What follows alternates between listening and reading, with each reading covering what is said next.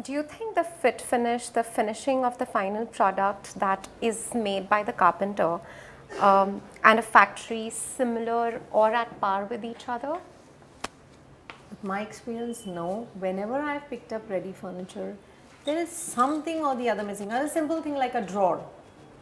Most of the ready furnitures do not put channels, Sure, yes. right? That's where you are cutting down on your cost. But there are times when somebody's got hurt while pulling the, there was no locking system. You know, in the olden days, the furniture used to be made, there used to be no channels. But there was a locking system which was done, which is not followed by the ready guys. Yes. So there are times when the draw just drops on you. I think uh, with reference to the fit finish, I'd like to differ here. I, I though I agree to your point about the drawers, and it's majorly to do with the cost I mean, cutting of that product. like a drawer which Yeah, people yeah. didn't even think of. you know, That's why? true. bu- But uh, in terms of uh, the fit finish, I think uh, uh, the fit finish of a, a factory uh, output would be uh, way superior than what a carpenter could achieve on site. Simply because if you're doing, let's say, a PU painted shutter, now if you're doing the shutter right on the side, there's so much of dust, so much of cutting, a lot of things happening on site, right? So the dust particles setting on the board while the paint is happening. So there is a setup which is a paint booth, which is like a certain um, uh, ambience that is created so that it's dust free.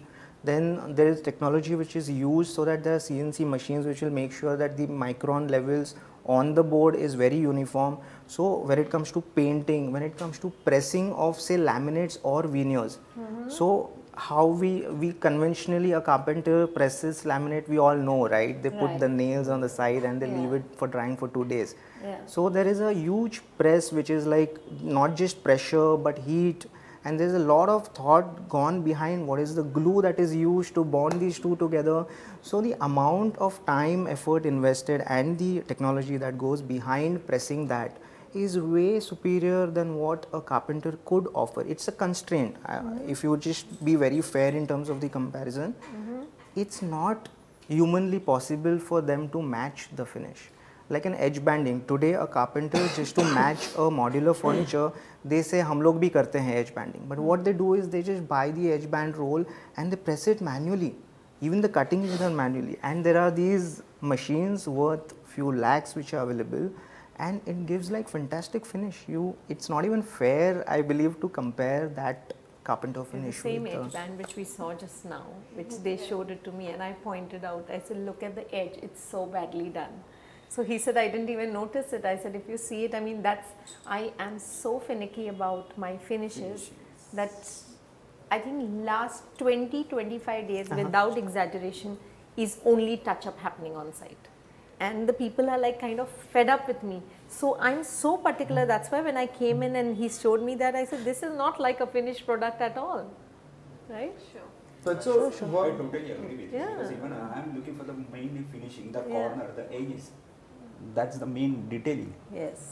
For the I mean, that part. shows the neatness in your work, Actually. right? That speaks. The But work also speaks. it to you. abo- uh, since we're talking about edge banding so there's a, a basic edge bander available and then there is the homag and the german other machineries that are available so it also depends on which boards you've used what edge bander you've used and also what is the glue that has gone behind it so it's not i think an apple to apple comparison uh, but True. but simply a, a- as a overall industry or uh, to compare it fairly uh, uh, a carpenter versus a finished product i think a finished product should be in a better position to offer a good finish.